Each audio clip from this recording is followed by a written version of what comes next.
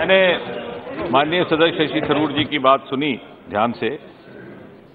प्लेबी side का clause कहीं नहीं रखा गया था। आज़ादी के समय भारत के दो हिस्से थे, princely India, British India.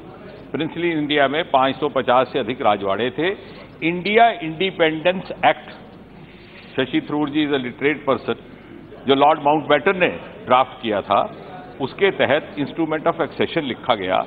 And it was to be signed by the ruler the raja in that case और अपना ऑप्शन देना था कि हिंदुस्तान के साथ जाना, पाकिस्तान के साथ जाना, उसमें कहीं भी प्लेबी साइड की बात नहीं थी। एक। दूसरा,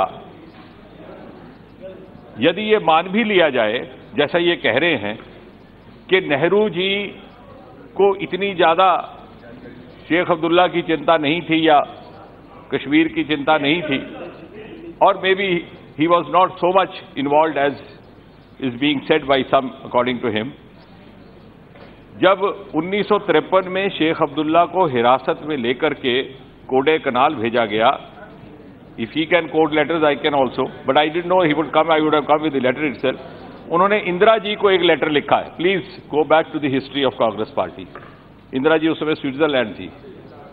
और नेहरू जी ने लिखा कि I and this is quoted in the book of Indira Gandhi and Haksar written by written by Jairam Ramesh. अरे ठहर जाइए साहब ठहर जाइए आपकी किताब आपको पढ़ा रहा हूँ। आपकी किताब तो आपको पढ़ा सकता हूँ ना मैं। ये intertwined lives Haksar and Indira Gandhi. Very recently publish by Jairam Ramesh.